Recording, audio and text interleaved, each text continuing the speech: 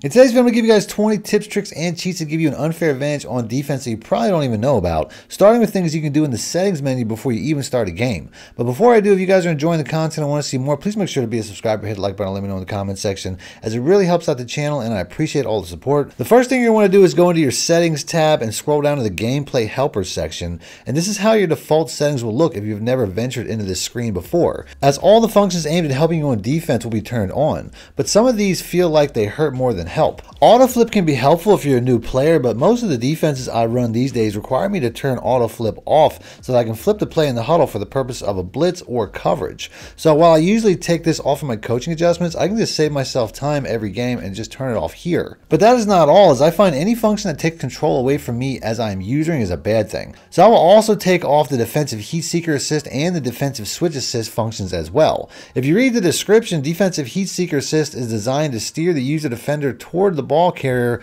when attempting a tackle. But what if Madden is a poorly designed game that forces you to take a bad angle as a computer often does, allowing you to just run around it? Defensive switch assist is something that tries to aid when switching players mid-play to another defender to try to get an interception, but this function will restrict your movement to prevent you from accidentally taking yourself out of the play. If you're a beginning player, you might want to keep these on, but in the long run, if you don't want Madden's faulty AI functions to get in your way, I would turn these off and learn to live without them, as I find that they hold you back more than help. In fact, the only thing that I keep on in this menu is defensive ball hawk, as this will make players move into position for interceptions automatically, often setting me up for easy interceptions before I even click onto the defender. After that, I'm going to go over some important adjustments you can do before the play starts, starting with the most important coaching adjustments you can make, whether you run zone or man coverage is most of the game. If you run a lot of zone coverage, the most important thing to do is to set your auto alignment to base. Doing this will ensure that your defense will look the same every single play, removing any tells that give away your coverage pre-snap to your opponent. But this can be a bad idea when using man coverage, as zone coverages can usually get to their coverage area easily enough without any problems. But man coverage is different, as you don't usually want to give up leverage in any direction, as this will result in the defender getting beat easily. If I switch to man coverage from this look, I can tell right away that a simple drag route from the tight end will get wide open because this man defender is too far away, or this slot receiver will get wide open in the flat because this safety is too far away at the start of the play. So while I do this sometimes just catch my opponent by surprise, it's not a good strategy for long-term success. If you use a lot of man coverages, the most important coaching adjustment is cornerback matchups, as you want to make sure that your best cornerback is matched up with your opponent's best receiver. So I will usually set this to by overall so that my highest rated cornerback is matched up with their best receiver, but there are times when this is not the best strategy, and that is usually because of speed. In Madden 24, if a receiver is 8 speed points faster than the cornerback in man coverage, he will run right past him for an almost guaranteed score every single time. And this is a pre-programmed threshold, so if you're facing a really fast receiver like Tyreek Hill is 99 speed, but the cornerback in coverage is over 8 speed points slower like James Bradberry who's only 89 speed, then your opponent can simply put Tyreek Hill on a streak and he will score a touchdown against pretty much any man coverage. So in this scenario, you'll want to do cornerback matchups by speed, but if you're facing a really tall receiver like a Mike Evans, you might want to go by height sometimes as well. My next tip is substitutions, as there are several advantages to be had here as well with personnel based on what your opponent is doing. If your opponent is a run-heavy player, you can put strong defensive tackles all across your defensive line and keep linebackers into linebacker positions as well, or even go as far as to put defensive ends at outside linebacker positions for higher strength and block sheds. But if they're a passing player, you can put faster defensive ends at the defensive tackle spots and outside linebackers at defensive end spots for better pass rush. You can also put safeties at linebacker positions and even cornerbacks at the safety spots for better coverage on the back end as well. If your opponent likes to do both, you might not want to make these adjustments right away, but if your opponent is in a predictable situation, like you're up a touchdown late in the game or you have them on a third and long and you know that they have to pass or run, you can make these adjustments to give yourself an advantage in those situations. Next up, I'll go over the most important pre-snap adjustments starting with run defense. The shortest distance between two points is a straight line, so you always want to take that away first, meaning you'll never want to give up any inside run lanes. And the easiest way to do this is to pinch the defensive line by pressing the D-pad to the left and down.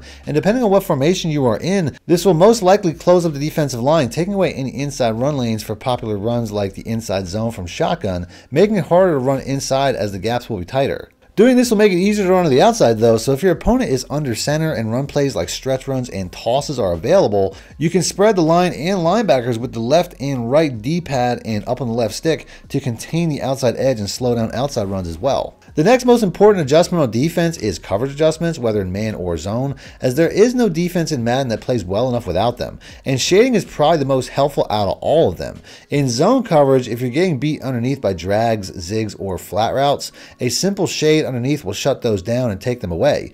To do this, just press Y or triangle and down the right stick, but be aware that this will allow deeper routes open over the top of them, which is why most players opt to use a Mable concept by putting the hard flat and curl flat on the same side of the field, and now you can see that nothing is open as the quarterback has to scramble instead. In man coverages, shading is even more helpful as you can do things like universally shading inside or out, or over the top or underneath. Although I find the best ones to use are just inside and outside, as shading underneath has a penalty similar to guessing run at the wrong time and can result in easy deep scores on streaks. But what if your opponent is using a simple corner route to get open outside? All you have to do at that point is universally shade outside by pressing the Y or triangle button and then round the right stick, and you can see the cornerback changes positions to favor leverage to the outside. But you can also make individual coverage adjustments to your opponent's routes by pressing the Y or triangle button, then A or X, whether you're on Xbox or PlayStation, for individual coverages. And this will allow you to choose specific adjustments around a specific receiver or route. So if you only want to shade outside or inside on one specific receiver,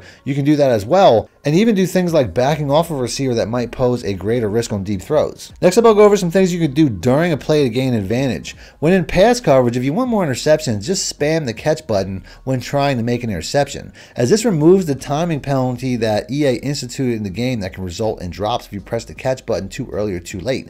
And it also has the added advantage of propelling you towards the ball, just like it does on offense.